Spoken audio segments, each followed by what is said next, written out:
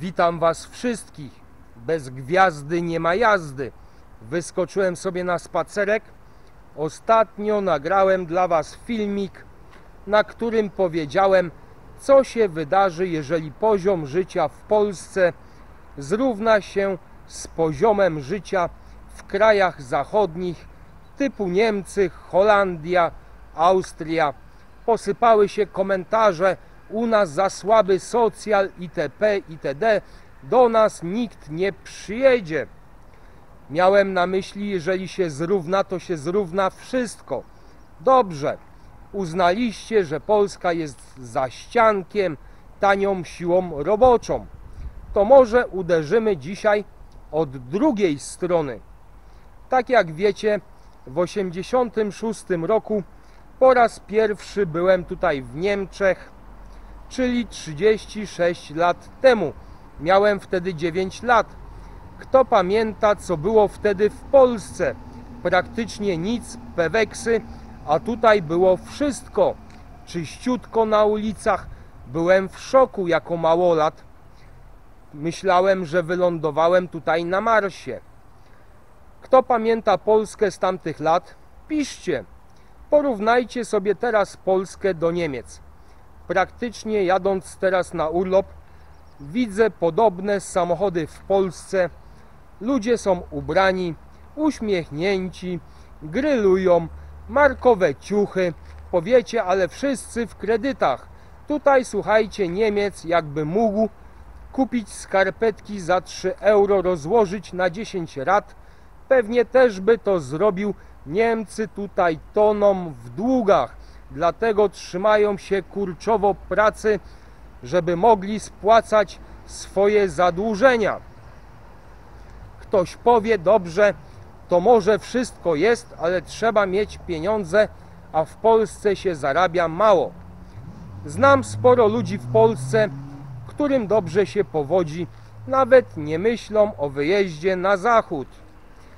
Wszystko zależy od ciebie, ile zarobisz, jaki masz etat, czy po pracy masz jeszcze jakieś chęci coś dorobić, czy masz jakąś fantazję, jakieś zdolności, czy po prostu jesteś na najsłabszym etacie, wracasz do domu, otwierasz piwo, mówisz byłem 8 godzin w pracy, nic więcej nie będę robił.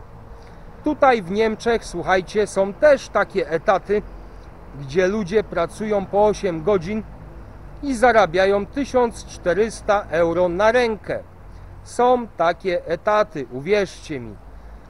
Jeżeli jesteś tutaj sam, masz opłaty na głowie, utrzymanie, jeżeli masz jakiś samochód, przykładowo zostanie ci po opłatach 700 euro. Ktoś powie, to i tak więcej niż u nas, bo u nas tyle się zarabia na cały miesiąc, jeszcze trzeba zrobić opłaty. Zaraz ktoś wyskoczy z porównaniem, ile paliwa można za to kupić w Polsce, a ile w Niemczech. Dobrze, paliwko może się zgodzę, ale weźcie pod uwagę utrzymanie auta. Tutaj godzina robocza w warsztacie samochodowym, takim najtańszym, kosztuje jakieś 90 euro. W troszeczkę lepszym 120. Są też warsztaty po 140. Nie wspomnę o serwisie. Spróbuj wstawić auto do serwisu Mercedesa. Zobaczysz ile cię skasują. Żeby to auto zatankować, musi być sprawne. Czymś do pracy musisz jeździć. Jeżeli zostanie ci 700 euro, wydasz na jedzenie przykładowo 350, zostaje ci 350, coś ci się w samochodzie posypie, za naprawę musisz dać 2500 euro, to musisz wziąć pożyczkę, żeby naprawić samochód, bo nie będziesz miał czym dojeżdżać do pracy. Tak to tutaj, słuchajcie, wygląda. Byłem w latach 8, 9, 9, 2, jak wiecie, chodziłem tutaj do podstawówki. Później byłem w technikum, przyjeżdżałem tutaj na wakacje sobie dorobić, więc mam porównanie.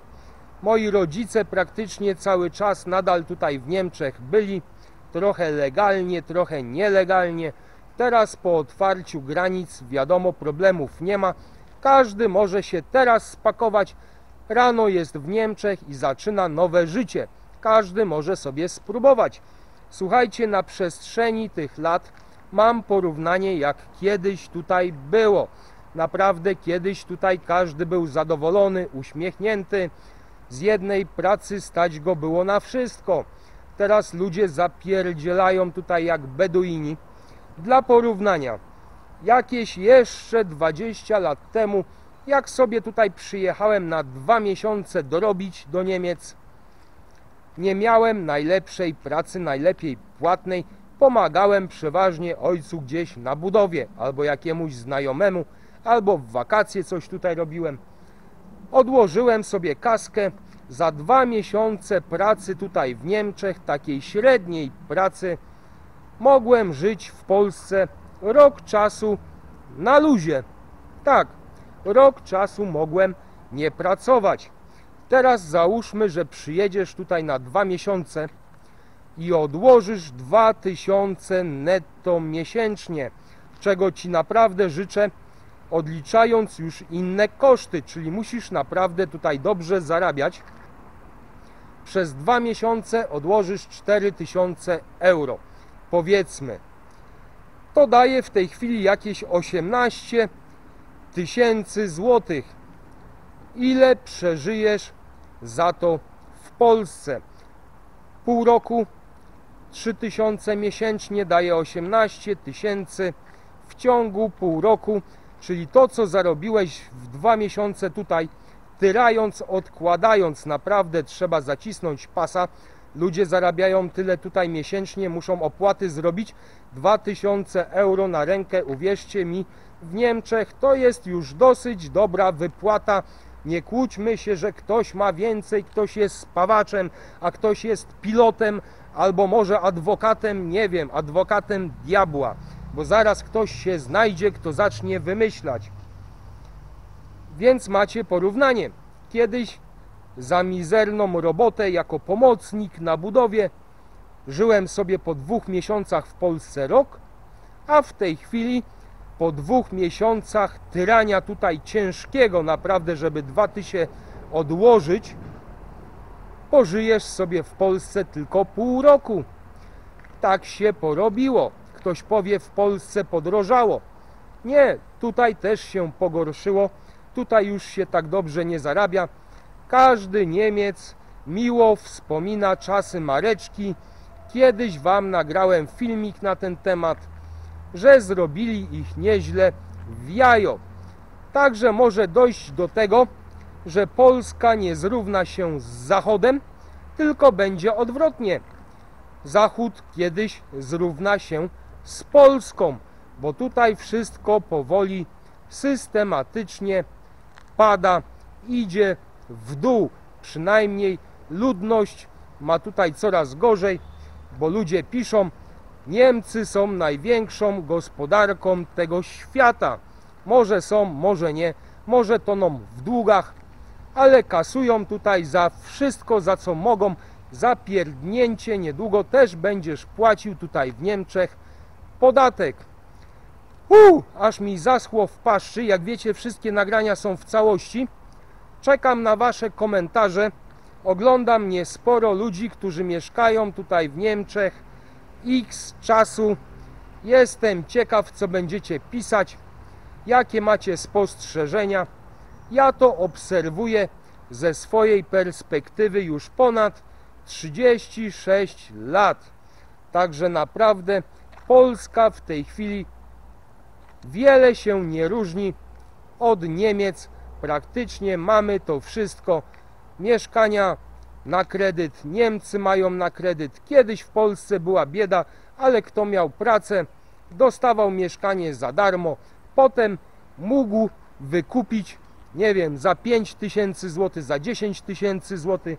Chcieliście zachodu, to go teraz macie.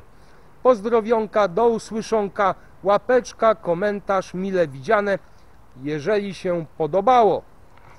Pozdro!